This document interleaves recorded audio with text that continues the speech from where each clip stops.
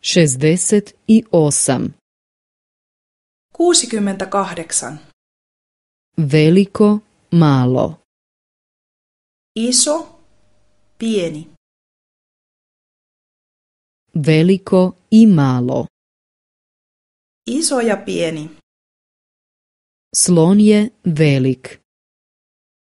Elefantti on iso. Miš je malen. Hiiri on pieni. Tamno i svjetlo. Pimeä ja valoisa. Noć je tamna. Yö on pimeä. Dan je svjetao. Päivä on valoisa. Staro i mlado. Vanha ja nuori. Naš djed je jako star. Isoisämme on hyvin vanha. Prije 70 godina je još bio mlad. 70 vuotta sitten hän oli vielä nuori. Lijepo i ružno. Kaunis ja ruma. Leptir je lijep.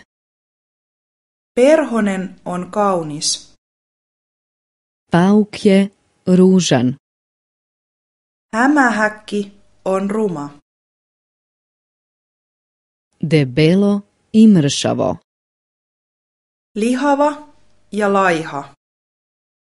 Žena od 100 kilograma je debela. Nainen, joka painaa 100 kiloa, on lihava. Muškarac od 50 kilograma je mršav.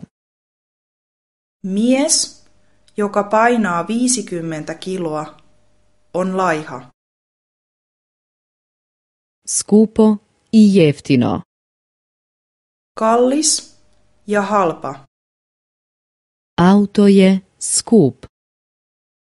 Auto on kallis. Novine